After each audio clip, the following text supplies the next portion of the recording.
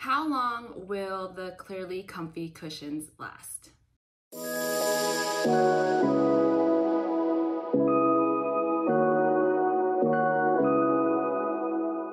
Hey mamas, my name is Tu Hien and I am the founder and CEO of BeauGen and today I'm going to answer the question, how long will the Clearly Comfy cushions last?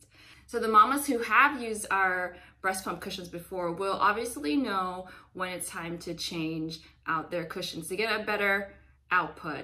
They'll, it'll start to get thin and stretched out and may even start to develop a hole after a lot of use. So similarly with the Clearly Comfy cushions, you'll want to change them out between two to eight weeks. Now the reason why it varies is because every mama's pumping schedule is different. The more frequently you pump, uh, obviously the more frequently you're gonna have to change out your cushions to get the best output yet.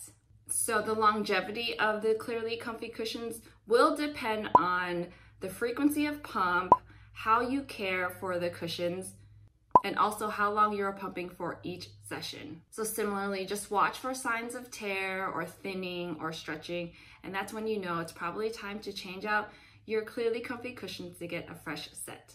Of course, if you have any questions at all, please feel free to reach out to us, to our mommy care team at pumped at beaugen.com. We will be so happy to help support you through your pumping journey. Thanks so much for watching the video. Be sure to subscribe to get more information about BeauGen. Thanks, bye.